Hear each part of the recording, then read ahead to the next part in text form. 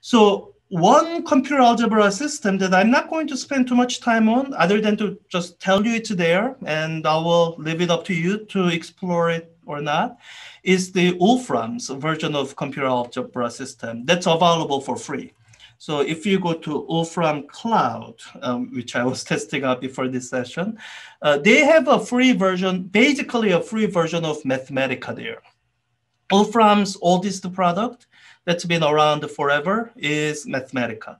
And Mathematica is probably the most uh, um, well-known computer algebra system that can do uh, fairly complex symbolic calculation. In fact, part of my graduate research work was building a, a computational model of an um, um, um, atomic vapor cell system thing using Mathematica. So it, it's a, but having said all that, the one biggest downside with Mathematica is that costs money. It's pretty expensive. I think if you buy annual license, it's like $100 per year anyways, it costs money.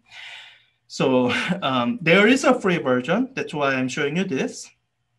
Uh, if you make an account, uh, the basic plan is free. And I, I do have a free account that I'm going to um, use to sign in with. And oh, I hope that's right. Don't know. um, so yeah, this is all from Cloud, and uh, Mathematica works with uh, what they call notebook as a way to organize the code.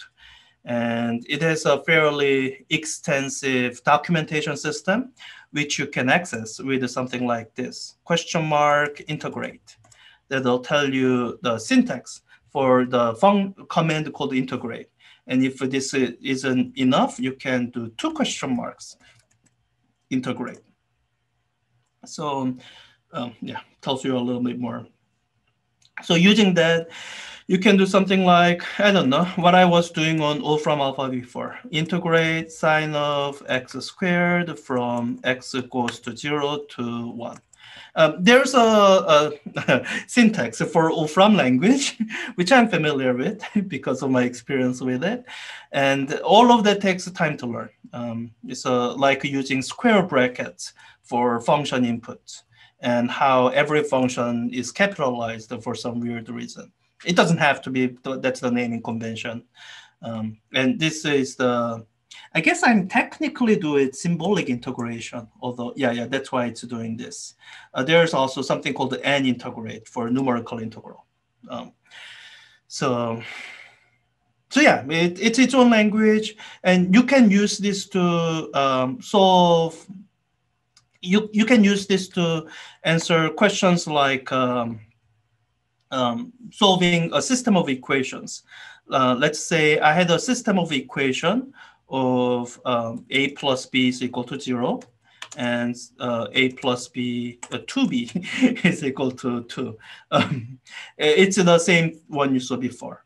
And uh, there's a function within Mathematica called solve, and you can bring up the the documentation thing to help you tell you about what it is. Oh, by the way, I probably should explain. Um, so when I do have solve, there's a distinction between me pressing enter, which is what you see now, and me pressing shift enter, which is what you see me do when I want to evaluate something.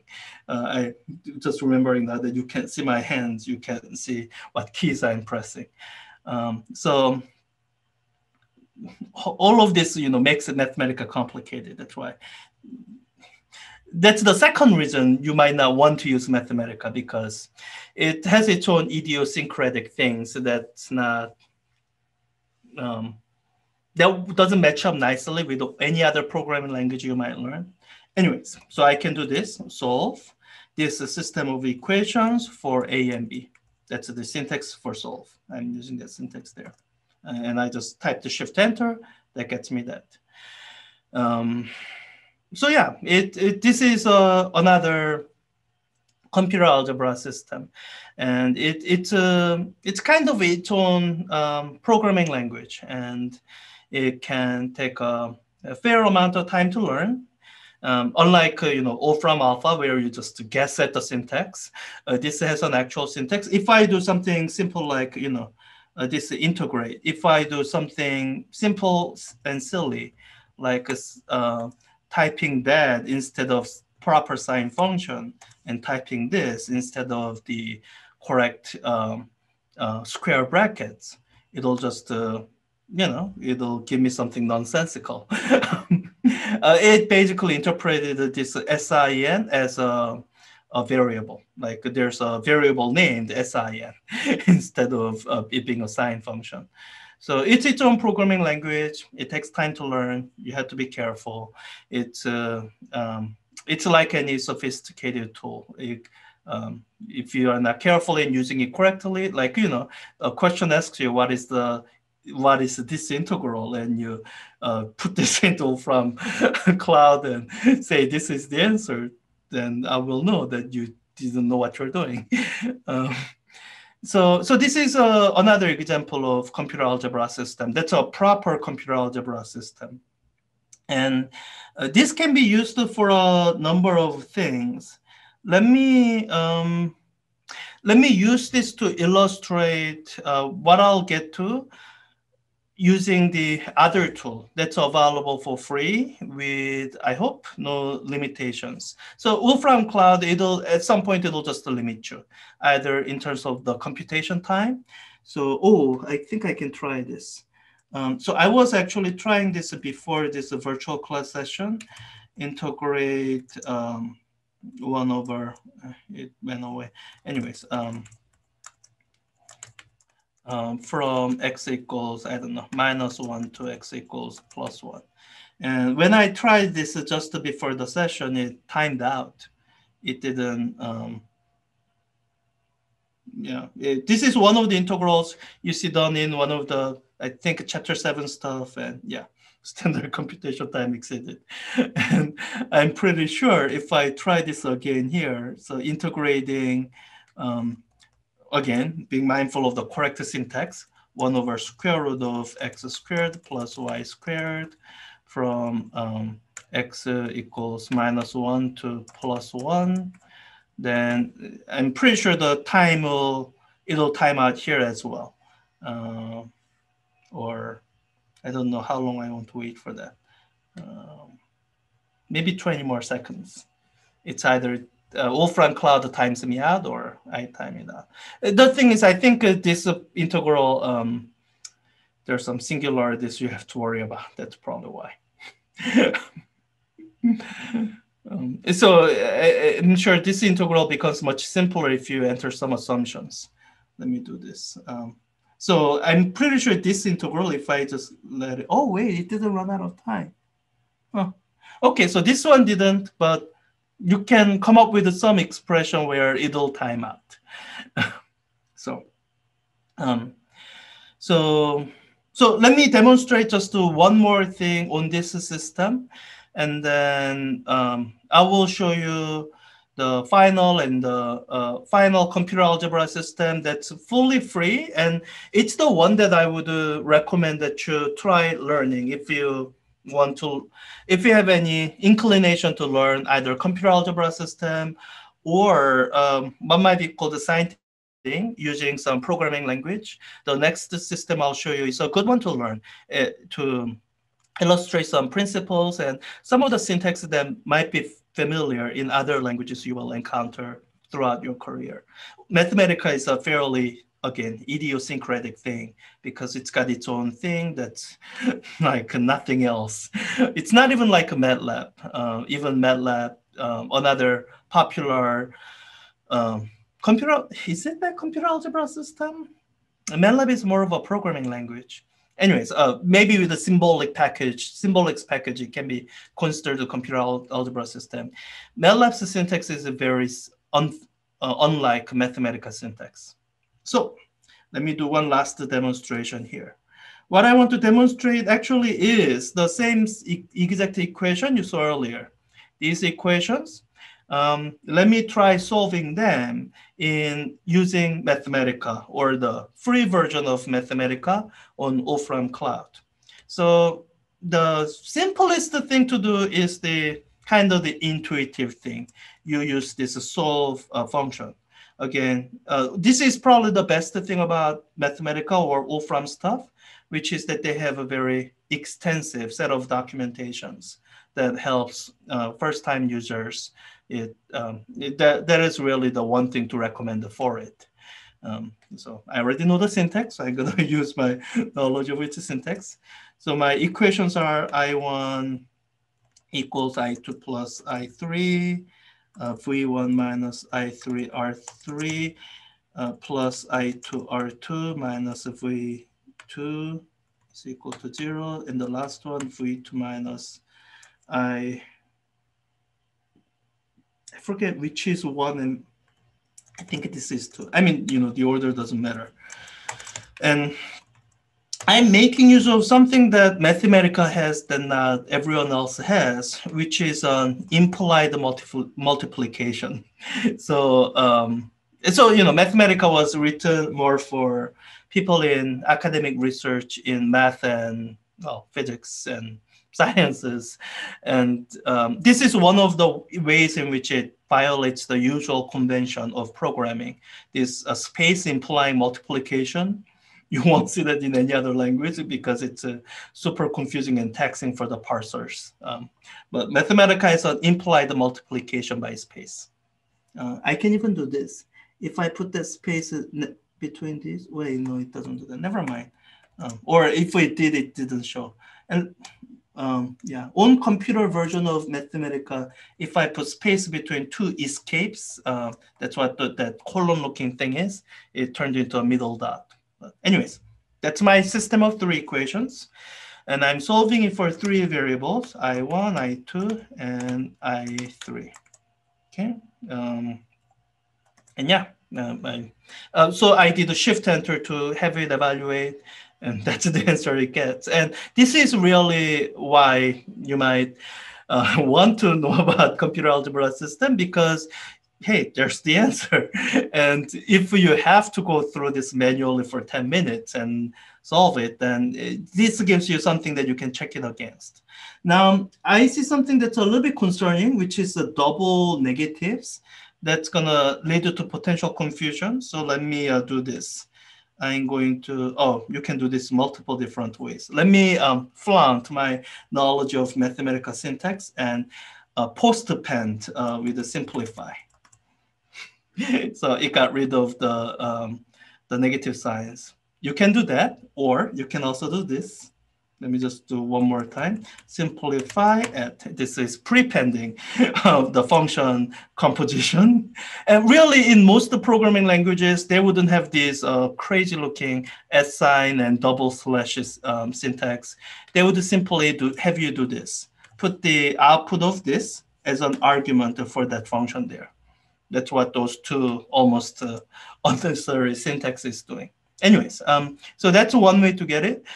Now, this is great for small and simple system of equations like this.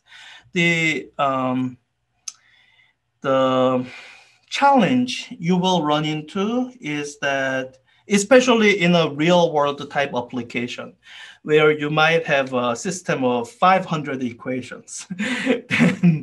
um, 500 would be small system of equations if you're doing anything like uh, finite element analysis. Um, so you might have a system of 10,000 equations and it'll be generated in an algorithmic sense. You wouldn't be uh, writing it down one by one.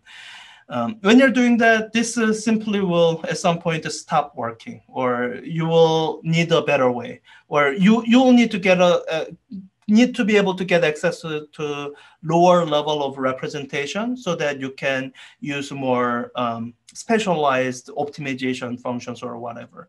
Um, so this is something you might have seen in your college algebra class which is this. When you have a linear system of equations, you can actually turn that into, you can represent it as a matrix multiplication. So I can rewrite this into a standard form so that I can represent it as a matrix multiplication.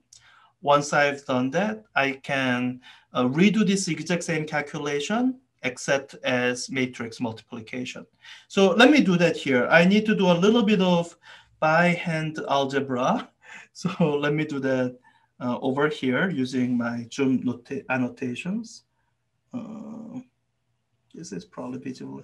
Okay, so I'm gonna rewrite equations one, two, and three into the what could be called the standard form, which is uh, I'm going to treat the currents as the each individual terms, put all the terms linear to it on the left-hand side, and put any other terms, the what is it called, the inhomogeneous terms on the right-hand side.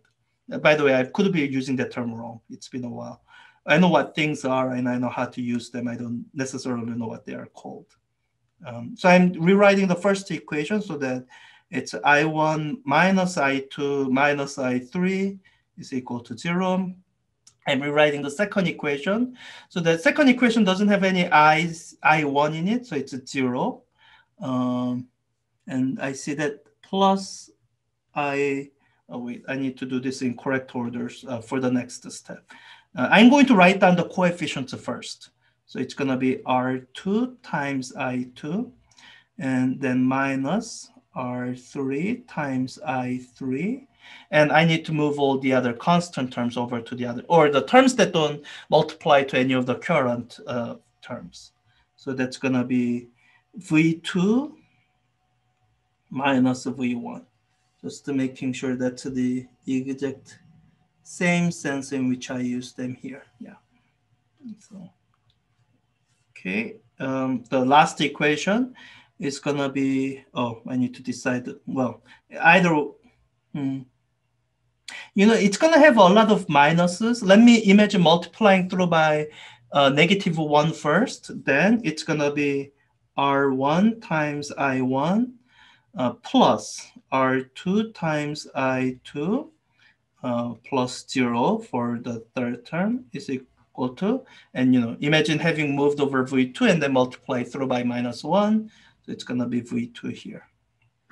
So this is the equation in standard form. Uh, having written it this way makes it easy to um, kind of visualize the coefficient matrix, which you might remember from your, again, college algebra, or I think it might be our math one class if you took it.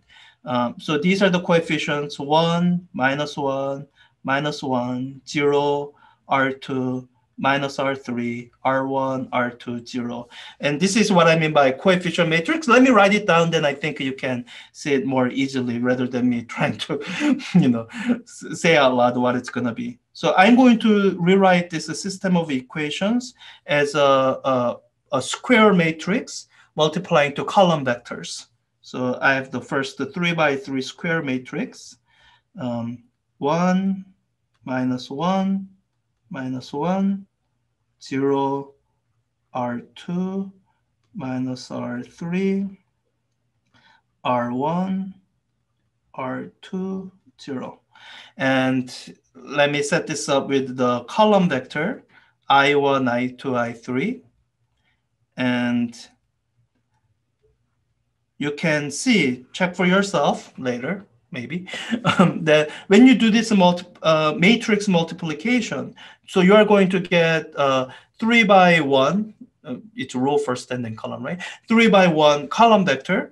And the first element of the column vector will be uh, 1 times I1 minus 1 times I2 minus 1 times I3. So it's going to be this uh, expression here. And the same thing for the second row and the third row. So um, you can represent the above system of equations this way uh, by having the left-hand side of column vector equal to this um, right-hand side. Oh, wait, I need more space here. So let me uh, leave a little bit of space uh, equal to uh, 0, V2 minus V1, V2. So, I mean, so far, this is just a interesting way to rewrite a system of three equations into one equation involving matrices.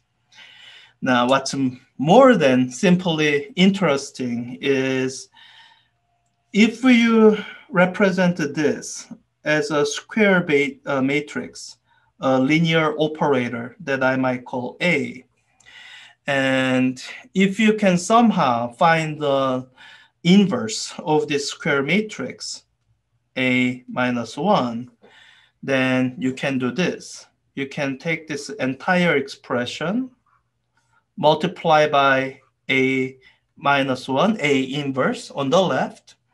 Then, and you know, with the matrix multiplications, you have to be careful about the uh, left and right order because they don't commute. Then on the left hand side, a inverse times a will cancel out. You'll get one. So you get I1, I2, I3 equal to the a inverse times the, uh, I don't know what this is called, this column vector. I don't know what it's called the constant vector. Uh, anyways, um, so if you have access to a system that can take inverses of matrices for you, then solving this system of equations can be done in this very automatic programmatic way. And the system that can take inverses of matrices for you is computer algebra system. That's kind of the key feature of a computer algebra system. If it's a symbolic compu computer algebra system, which I think they are almost by definition like Mathematica, then um, then they can do this symbolically. And even the programming languages that can't do symbolic operation, like MATLAB, the without the symbolics package, or Octave, if we are using MATLAB, free MATLAB clones, um, they can take inverses numerically. There are algorithms there for that. And um, so if somehow all these parameters values were known numerically, then you can do this numerically. So let me do this exact same calculation here using Mathematica. And uh, we'll just verify that the result we get matches the result we got using the built-in functions here. So let me let me set that up. I need to define the matrices. Uh, let's see, A is equal to, and I hope I remember my matrix notation right. Uh, this is the first row, and then the second row, and then the third row. Okay, so that's going to be matrix. I'm pressing just to enter because I need to define additional variables. Um, I'm going to build a vector. Um, let me call that uh, v. So I press the escape, typed in v, and I'm pressing escape again so that I have access to that Greek symbol. Um, so that's going to be a column vector, 0, v2 minus v1, v2. Okay, um, so those two are the variables that I need access to. And um, what I'm going to do is Hmm. One thing I'm not sure is if I do a times phi, what does it do? Um, so you know, when once you have matrices, you have to start worrying about: Are you talking about multiplication as a matrix multiplication or element by element multiplication? Like there are so many kinds of multiplications. I want to make sure whatever operation I do um, is the matrix multiplication, not element by element. Uh, Okay, yeah, this is giving me something that's weird. So I'm pretty sure this is an element by element multiplication. Let me try this. I think that's gonna be the matrix multiplication. Yeah, okay. So I need to use uh, the period. that's one. matrix multiplication is in Mathematica. So I'm going to take inverse of A. The thing will do that for me times matrix multiplication, the column vector, that's the the thing on the right-hand side. Then the resulting column vector, the first element should be I1, second I2, third I3. So hmm, it's hard to compare this with that. They look different. Let me run it through a simplification just to be sure. Postpend with simplify. And oh, they look the same, I think. Yeah, so this is uh, how, how you make use of computer algebra system. And this uh, operation, uh, this kind of set of steps is basically the exact same step you can use on any computer algebra system, being mindful of their own syntax, programming syntax. Um, so it's a it's this procedure that I wanted to demonstrate because whenever you are dealing with a, a complex physical system, it's probably going to involve uh, solving a system of equations. And the more complex a particular model or simulation is, the more number of system of equations you have. And at some point, you just have to do it with a program. You can you cannot expect it to solve a system of even 10 equations by hand. It gets too time consuming and unwieldy. And um, so yeah, well, Mathematica is one of the uh, well-known industry, I don't know, standard computer algebra system, but which costs money. You can access a version of it for free at wolframcloud.com.